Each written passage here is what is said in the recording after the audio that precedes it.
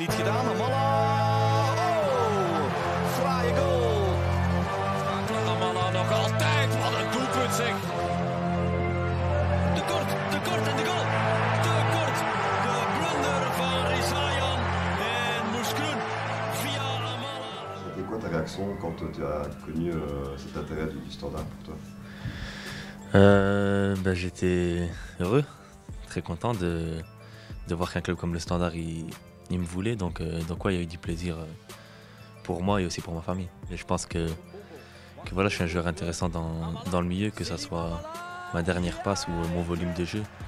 Je pense que, que le coach aime, euh, aime tout joueur qui, qui, court sur le terrain. Donc euh, je pense que c'est ça aussi qui lui a fait qu'il me voulait. Dans l'équipe, on se sent bien.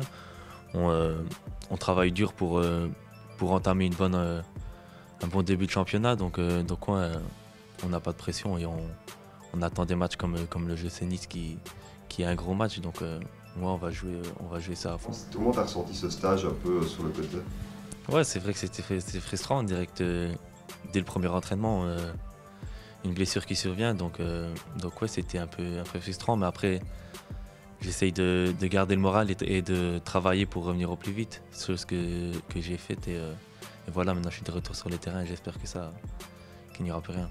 Physiquement, je suis bien. J'ai toujours, euh, je pense que c'est aussi un atout que j'ai. J'ai, pas de mal dans, dans ce qui est de, dans les courses, etc. Donc euh, non, je suis bien pour le moment. On a un bon groupe, on a, on a une bonne ambiance, que ce soit euh, avec euh, n'importe lequel. Que, il y a beaucoup de- d'origine dans l'équipe, donc euh, ça pourrait faire des clans, mais non, même pas. On est, on est tous soudés et je pense que c'est important pour une équipe de d'avoir une relation comme une famille. Bah, Qu'est-ce qui t'a le plus étonné depuis que Je pense que c'est vous les Liégeois, vous êtes tous fous. Je te jure, vous avez, vous avez un sens d'humour qui est, euh, qui à part des autres. C'est quelque chose qui fait qui met toujours de bonne humeur. hein. Dès que, dès que tu arrives le matin, quand il y en a qui fait une petite blague, ça fait toujours plaisir. Quand, euh, quand une équipe est fort soudée et fort, euh, et fort familiale, on va dire, c'est, ça aide toujours. Après, voilà, il faut que pour avoir de bons résultats, je pense que l'équipe doit être soudée euh, et les victoires viendront par la suite.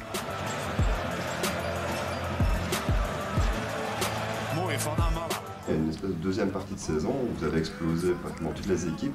Même le standard chez nous a eu beaucoup beaucoup de mal contre Ouais, c'est vrai. Et comment est-ce que tu expliques ce, ce niveau que Moucron atteint l'année passée?